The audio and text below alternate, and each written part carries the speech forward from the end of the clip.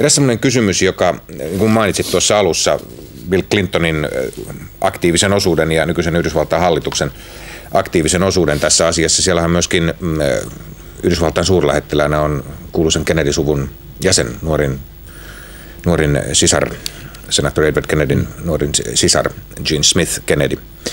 Miten paljon tässä yrityksessä, niin kuin jossakin lähi rauhanprosesseissa Israelin Egyptin välillä – nyt sitten tämän Palestiinan rauhan prosessin yrityksessä on myöskin aineksia ikään kuin Pax Americanasta, koska Yhdysvallathan on maailman suurin, tai Yhdysvalloissa on eniten irlantilaista, irlantilaisväestöä, jos ajatellaan numerisesti, ja amerikkalaisten taloudellisilla tukitoimilla on aina ollut merkittävä osa tässä. Irlantihan on toisaalta Irlannin tasavalta taloudellisesti mennyt kovastikin eteenpäin monessa suhteessa. Näin on jonkun luvun mukaan amerikkalaisista 46 miljoonaa mainitsee, että heillä on irlantilaista sukujuurta jossakin muodossa. Ja Irlantila, Irlannin kysymykset ovat kovin paljon esillä Yhdysvalloissa. Ja ehkä voisi sanoa että niin, että Yhdysvaltain kongressissa on voimakas irlantilaislobby. Ja monet hankkeet, joita Irlannissa on yritetty toteuttaa, mukaan luettuna nämä, nämä laittomuudetkin, Kyllä. ovat saaneet rahoitusta melko suurella todennäköisyydellä eh, myös amerikkalaiset. Eli eh, se intressi, joka Yhdysvaltain kulloisellakin hallituksella on Irlantiin päin, on melko suuri. Toisaalta täytyy sanoa, että eh, Yhdysvalloissahan politiikka ei ratkea ulkopolitiikkaa, vaan sisäpolitiikan puolella. Mutta Bill Clintonin henkilökohtaisella panoksella on merkitystä, se on aivan selvä. Hänen vierailunsa viime marraskuun lopulla, juuri tuolloin niin aikoihin, kun tämä ryhmäkin asetettiin, silloin se merkitys, että se, sen vierailun alla eh, Iso-Britannian ja Irlannin hallitukset ikään kuin pakotettiin sopimaan tästä asiasta, viemään tätä asiaa eteenpäin. Ja se johti sitten eh, muun muassa siihen, että eh, Bill Clintonin uskottu George Mitchell tuli tämän meidän ryhmämme vetäjäksi. Kuitenkin haluan sen sanoa ja, ja uskon voivani sanoa sen hyvällä omalla tulla. George Mitchell ei noudattanut presidenttinsä ohjeita, vaan eh, ne arviot, joita me tuossa raportissa täysin yksimielisesti esitämme, perustuvat niihin keskusteluihin, joita käytiin Pohjois-Irlannissa, Irlannissa ja, ja, ja myöskin Iso-Britannian puolella Lontoossa.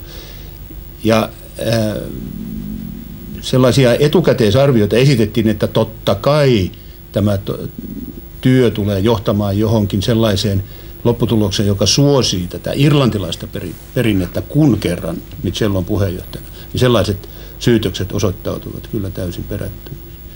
Minusta äh, olen valmis sanomaan sen missä tahansa, ja sanon sen mielelläni Amerikassakin, että George Mitchell – on todella sellainen persoonallisuus, jonka kanssa työskentelystä voi olla ylpeä. Ajatellen vielä näitä kuuluisia osapuolia, osin televisiosta tuttuja kansainvälisten uutiskuvien takia, jotka ovat viime aikoina, viime vuosina paljon olleet julkisuudessa, tai silloin aikoinaan joku minä niitä Irlannin retkiä, niin tein. Ähm, Jerry Adams, jolle brittitelevisiossa syystä ja toisesta sitten vihdoin ja viimein tuli myöskin ääni. Hänen äänensähän dupattiin pitkään tämän IRA-kysymyksen takia. Ja toisaalta unionistipuolella joku legendaarinen pastori tohtori Ian Paisley ovat tällaisia tunnettuja hahmoja. Oliko sinulla tilaisuus näiden irlantilais, pohjois-irlantilaisten johtajien tai heidän edustajiensa kanssa käydä suoria neuvotteluja tai kuulla heidän käsityksiä? Minkälainen mielikuva sinulle heistä syntyy? Niin ensinnäkin totean, että mainitsemasi Ian Paisley oli ainoa, joka ei suostunut meidän kanssamme keskustelemaan – hänen poliittisen, näke- poliittisen näkemyksensä mukaan ulkopuolisia ei heidän eh, kysymyksissään tarvittu. Ja tämä tietysti on yksi asia, jota kannattaa miettiä, että miksi meidät ulkopuolisina siihen yleensä vedettiin. Hän kieltäytyy tulemasta. Niin, hän päässyt edes kyökin kautta sisälle. Hän ei, hän ei halunnut niin. Eh, tulla. Mutta sitten kaikki muut, hmm. joilla eh, mielestämme oli vähänkin jotain merkitystä ja joiden kanssa pyysimme keskustelua, suostuivat keskusteluihin ja Jerry Adams oli yksi niistä, joiden kanssa useampaan otteeseen keskustelin. Olen katsellut häntä ja hänen tovereitaan silmästä silmään ja kysellyt heidän käsitystään terrorismin luonteesta ja siihen liittyvistä asioista. Ja Se, mitä siinä yhteydessä kuulin, panee kyllä miettimään. Toisaalta me olemme ilmoittaneet, että kaikki ne keskustelut, joita kävimme, ne olivat sisällöltään luottamuksellisia ja me kolme kyselijää tai tämä International Body, se ei tule julkaisemaan mitään kuulemaansa.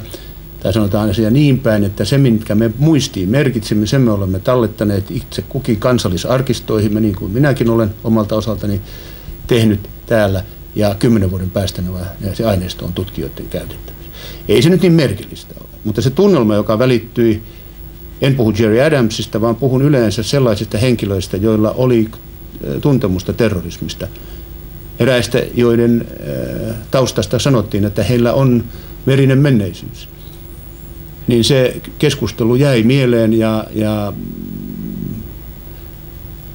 sen verran voisin ehkä kertoa, että kun sitten kirkkojen edustajilta kysyin, että miten näiden miesten laita on, voiko heihin yleensä luottaa, puhuvatko he totta, niin sain mielenkiintoisia vastauksia, tai yleensä aina saman vastauksen että jos heidän omasta menneisyydestään ryhtyy keskustelemaan, niin he eivät silloin totuutta kerro.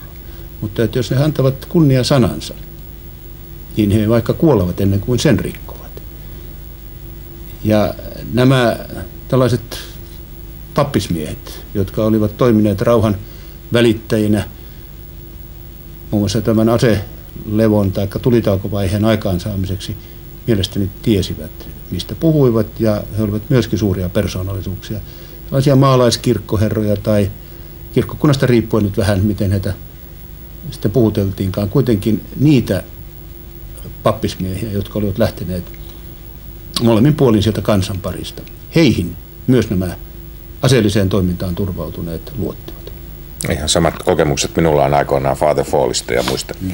joiden rippikoululaiset olivat niitä, jotka kuten irlantilaiset sanovat, koputtelivat taivaan porteilla ja kuolivat vaikka nälkään aitoon roomalaiseen taistelutapaan vihollisen portin eteen. Se vaatii mm. kyllä erittäin kovaa sisua.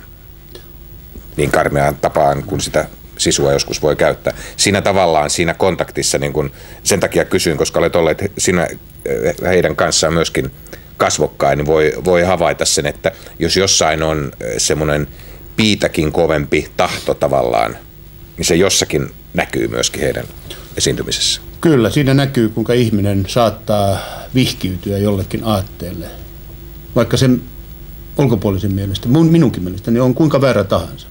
Niin sitä ei voi olla tietyllä tavalla noteraamatta, että ihmisellä on halu toimia jonkun oikeana, hyvänä pitämänsä asian puolesta. Ja sitten kysyy, että miksi se on johtanut terrorismiin. Mikä on sen terrorismin syy? Ei se, se ei ole lähtökohta, se on seurausta jostakin. Ja se on seurausta silloin tietysti vääristä poliittisista ratkaisuista menneisyydessä.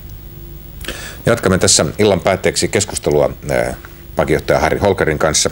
Puhumme Irlannin kysymyksistä vielä hetken aikaa tämän, myöskin tämän komitean lausunnon sisällöstä ja puutumme myöskin muutamalla sanalla väkivaltaan Suomessa – koska ei valitettavasti meidänkään kaduillamme ja kuillamme ole niin rauhallista enää kuin joskus toivoisimme. Tässä välillä, niin juodaanko kahvia?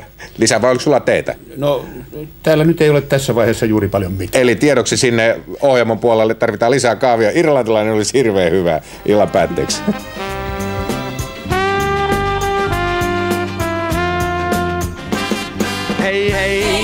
myös naapurit huolestuneet, niin monta meitäkin on. Toisimme luottaen huominen taas olla voi huoleton. Kun onnea hain, itse kohuja sain, läksyt rästiin ne jäi mullakin. Niin arvaamaton ihmisen on, kumpa sen vain aavistaisin. Hei hei, hei. pois naapurit riitelyt nuo, ei syytä niihin nyt lie. Olkaamme tuttavat keskenään taas, yhteen nyt johtakoon tien. Yhteen nyt johtakoon tiemme tää. Yhteen nyt johtakoon tie. Hei hei, kaikki naapurit.